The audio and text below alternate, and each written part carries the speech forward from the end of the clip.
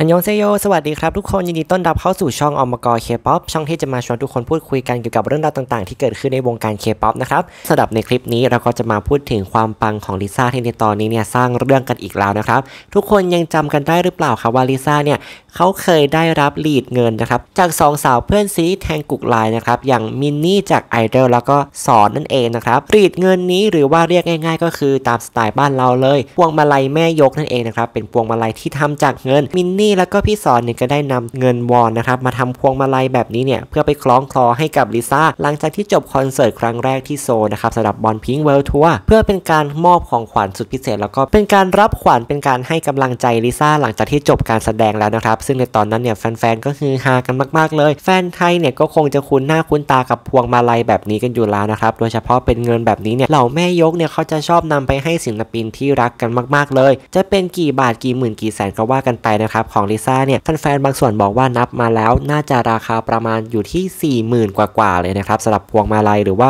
หรีดเงินนี้เป็นเงินวอนด้วยนะครับมีการ adapt สไตล์เอาสไตล์ของไทยแล้วก็เกาหลีเนี่ยมาผสมผสานกันมินนี่กับพี่ซอร์นเนี่ยก็ทำหรีดเงินหรือว่าพวงมาลัยเงินนี้ขึ้นมาไปมอบให้กับลิซ่าเป็นตัวแทนแม่ยกชาวไทยนั่นเอง ในตอนแรกก็คือฮากันมากๆ แล้วก็เป็นที่พูดถึงไปหลายวันเลยทีเดียวนะครับ จนมาถึงในตอนนี้นะครับชาวเกาหลีเนี่ยเขาเริ่มเป็นไวรัลแล้วนะครับพวงมาลัยเงินวอนของลิซ่าเนี่ยกำลังเป็นไวรัลในเกาหลี แถมยังมีชาวเนติเซนเกาหลีมาทำ how to นะครับ มาทำ how to วิธีทำรีดเงินวอน หรือว่าพวงมาลัยเงินวอนนี้กันด้วย บอกละเอียดมากๆเลยนะครับ ตั้งแต่อุปกรณ์ที่ต้องเตรียมมีอะไรบ้างไม่ว่าจะเป็นริบบิ้นเอ่ยซองพลาสติกใส่เอ่ยแล้วก็เงินนะครับรวมไปถึงวิธีการทำเริ่มแรกเนี่ยก็ต้องทำยังไงกันบ้างนำเงินใส่ซองพลาสติกใส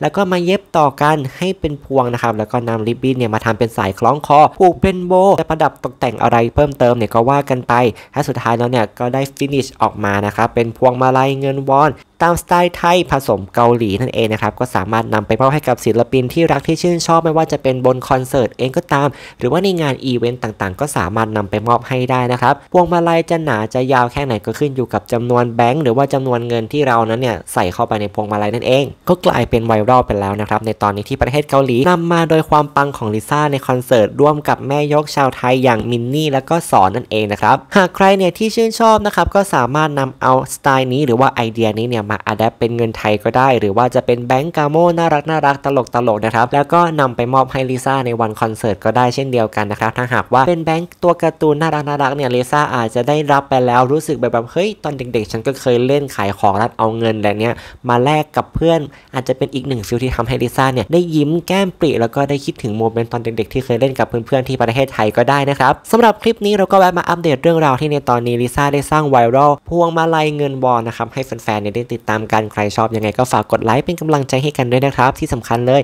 กดติดตามช่องเราไว้นะครับ จะได้ไม่พลาดเวลาที่เราลงคลิปปุ๊บเข้ามาฟังกันปั๊บเลยนะครับ กลับมาเจอกันใหม่คลิปต่อไปครับทุกคน สวัสดีครับ อันยอง